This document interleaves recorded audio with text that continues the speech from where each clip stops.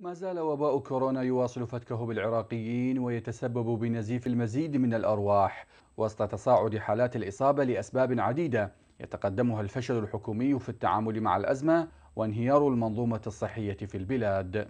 وانتقد متابعون للشأن الصحي ما أسموها الطريقة البطيئة والفاشلة التي يتعامل بها وزير الصحة حسن التميمي مع وباء كورونا وقالوا إنها تنذر بكارثة ضخمة في كل أنحاء العراق وتحول البلد إلى بؤرة للوباء على غرار إيران مجددين مطالبتهم بإقالة الوزير وتعيين فريق عالي المستوى لإدارة الأزمة بحرفية للتخلص من حالة الفوضى التي لا يعرف معها موعد وصول الوباء إلى نقطة الذروة. ويؤكد أطباء ميدانيون أن الواقع الصحي المتردي وسوء الإدارة يقفان خلف انتشار الوباء بقوة حيث كشفت الأزمة عن ضعف استعدادات وزارة الصحة وعدم استجابتها السريعة للتعامل مع الأزمة إذ تفتقر أغلب المستشفيات إلى المستلزمات والأجهزة الطبية والأدوية الضرورية التي تسهم بشكل أو بآخر في تقليل خطر الفيروس وإنقاذ حياة عشرات الآلاف من المصابين.